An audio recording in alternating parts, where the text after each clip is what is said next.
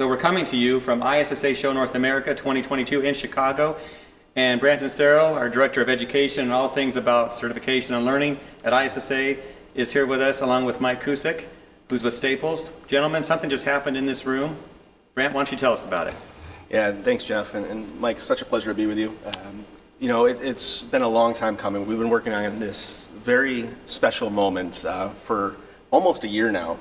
Uh, but we just formalized our partnership for the uh, National Distribution Partnership Program with ISSA, uh, which is a member benefit that we launched uh, a little over a year ago. Uh, and we are just so honored to partner with you. Uh, we just know that together our industry is thriving, and then together we're going to just help this elevate even more. So, so thank you. Oh, my pleasure, and absolutely honored to uh, to formalize our partnership and take it to the next level. Let's explain this to those watching. What does this mean, this partnership, and what impact will it have?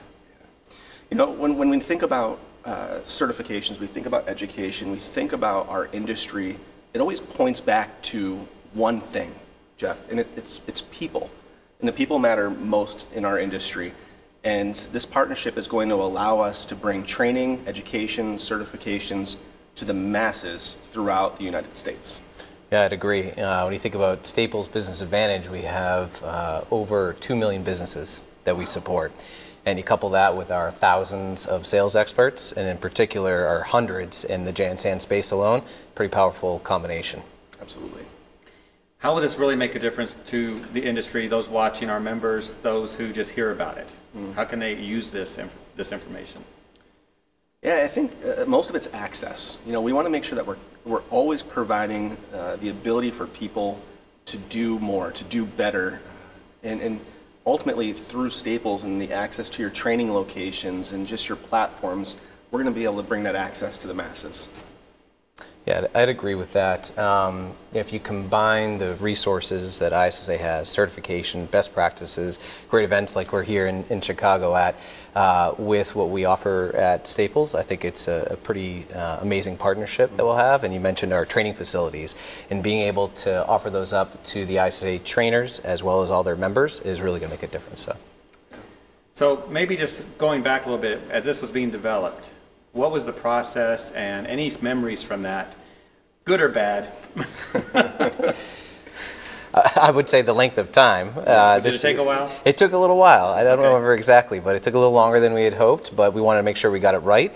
And I think over the, the coming months, we'll continue to round out the program and really define what it is so it's clear to our sales organizations. Um, and you can see that partnership. But I would say that the, the time was probably the thing that makes When you build something good, it takes time. It takes a little bit, yeah. yeah. Mm -hmm.